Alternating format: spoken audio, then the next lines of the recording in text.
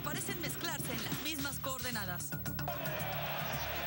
Una tarde de fiesta y pasión por el fútbol. Al mediodía, el sorteo marcaba el rumbo de la corrida en la México.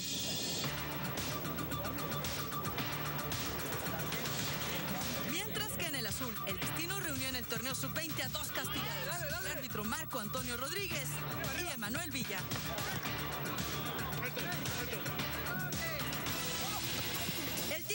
Tres goles, pero fue un festejo a media. En sí lo que me deja es que se usó pues todo esto no para muchas cosas que están pasando en el fútbol mexicano. Me deja que hay que hay muchísima hipocresía muchas veces por decir algo que queda bien, pues uno es bastante hipócrita. Ya no voy a estar solo aquí, ya somos dos que estamos castigados, así que nada, él hizo un muy buen trabajo, la verdad. En las calles aledañas, el habitual dispositivo de seguridad. Con para el fútbol y también para los toros. Con una corretiza que no pasó a mayores. Con las porras celestes que presumían su orgullo ante los taurinos. Vamos a ganar, Hortal es grande. Y con llegadas contrastantes. Unos protegidos por un inflable para evitar agresiones. Y otros entre piropos y hasta besos. ¡Eres el mejor, Payo! El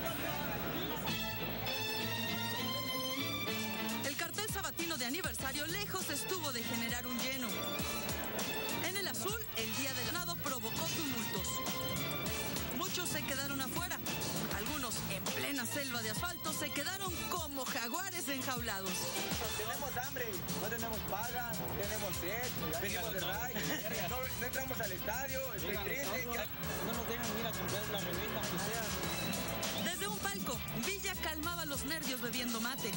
Y así pasaron muchos minutos, pero ni goles, ni oles. Hasta que al fin los canteranos de Cruz Azul le dieron a su afición el primer triunfo en casa de este torneo.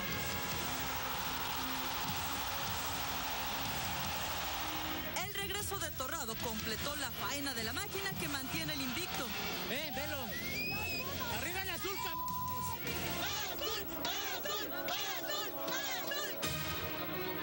Bajo la luna, la afición celeste se va, mientras que en la plaza, ya en toro de regalo, apenas llega el triunfo para Talavante.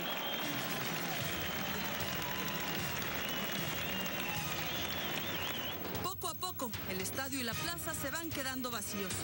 La afición azul celebra mientras que bajo el silencio nocturno ya solo queda la presencia del Juli en los corrales, a la espera de otra tarde de toros este domingo en la México.